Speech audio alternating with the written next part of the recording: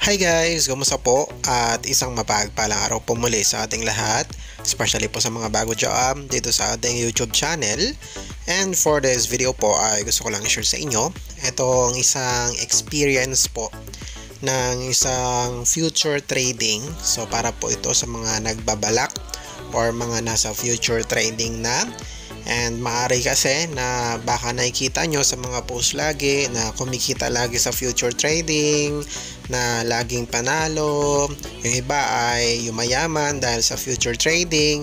So baka kasi ganun po yung mindset natin dahil sa mga post na marami nga or malaki nga ang kitaan sa future trading. Pero ito guys, no, ay isang istorya or experience na talagang nakakalungkot at nakakapanglumo. As in talagang uh, siguro masisiraan ka ng ulo dito kasi uh, napakalaki po no ng kanyang natalo or na-liquidate po sa future trading. And sabi niya rito, nag-invest ako ng 1.8 million total sa crypto 7 months ago when Ethereum was 180,000 each. So guys, no, imagine this. Uh, siguro mayaman to. Malaki, uh, maraming pera. And uh, we don't know guys no, kung anong work niya kasi di naman sinabi rito. Pero yung makapag-invest ka one time ha, o yung maglabas ka ng 1.8 million pesos, isahang labas, eh talagang marami kang pera. Okay, so siguro let's assume na mayaman po ito si Sir kasi kaya niya maglabas ng 1.8 million pesos.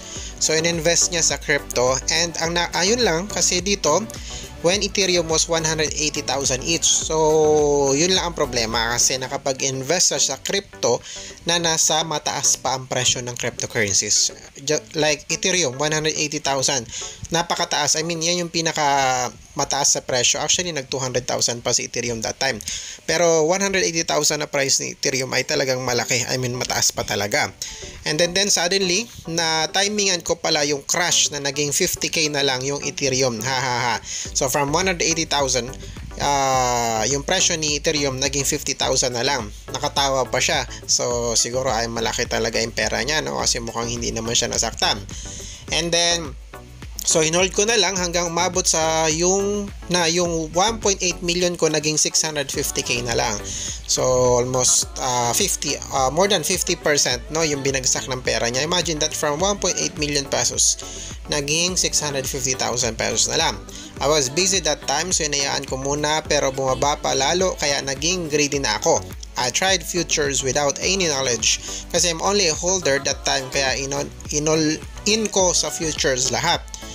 Nagulat ako, ayan. So, siguro ay nabagot sa paghihintay. Ayun lang problema, guys. So, sa future, I mean, sa cryptocurrencies, uh, pwede ka naman mag-hold, no? Pwede ka naman maghintay kahit papano. Kasi kung nahintay niya to, kasi from 180,000 naging 50,000 po yung presyo no ni Ethereum.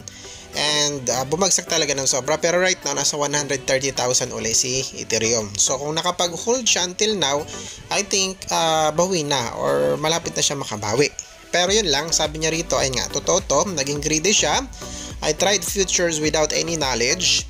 And then, in-all in niya lahat ng pera niya sa future. Nagulat ako, in 2 minutes, naka 70k agad ako.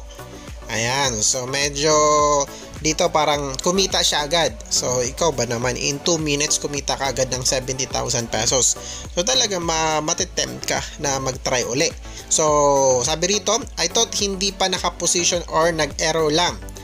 Uh, inulit niya daw uli. I thought hindi pa naka-position or nag-arrow lang.